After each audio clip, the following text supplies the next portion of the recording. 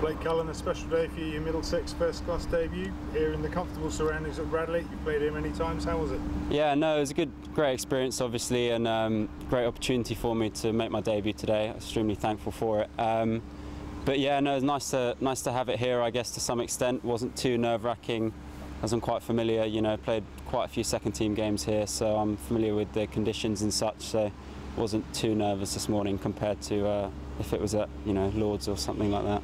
The day all started for you at about quarter past ten when you got presented with your cap by none other than Tim Murtagh, a hero of yours. Uh, what was that like? Well, it was a great honour to receive it from him. You know, he's a complete Middlesex legend and he's been performing well for them for, for years. So it was a good experience to, you know, get it from him and gave a good speech. So no, it was nice. Well, so you're at the very start of your career. You've got Tim Murtagh stood there at mid-off, shining the ball for you, throwing it back to you. Uh, must have been great to have someone with all, all, that experience alongside you. Yeah, I mean he's got he's got so much knowledge about the game, and you know he can tell you the appropriate thing at the appropriate time, which is nice. You know he knows when to leave you alone and let you figure it out for yourself, or whether to offer that advice on plans or you know where you want to bowl that sort of thing. Um, so yeah, great wealth of knowledge to have stood next to you if you're uh, ever in doubt. Absolutely. Well, you took two for 51 off 14 overs today. You had some tough moments out there. Phil Salt got going early, got after you. You held it together nicely.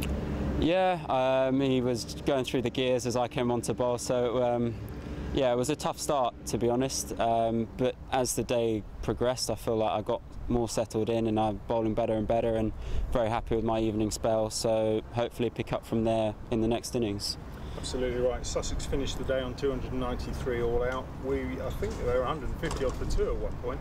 We've got to be really pleased. Seven wickets in the evening sessions really swung it back in our favour. Yeah, definitely. I think um, we started off very well this morning, and then perhaps after lunch they got away from us slightly. Um, but you know we stuck to our game plan, which was to go at kind of three runs and over if we could, and we knew that wickets would come because it's a ground we all know, and we know that wickets come in clusters, which came in the evening session.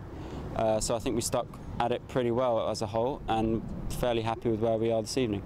Quick word on Martin Andersson, those seven wickets in the evening session, he bowled exceptionally well, ended up with four for, for the day.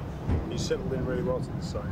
Yeah, um, he's been great so far this year. Pleasure to watch with, with bat and ball and he bowled beautifully well today. Um, was unlucky not to get his, his fifer, I know, but um, I'm sure he's, he's pleased with the four-for that he got.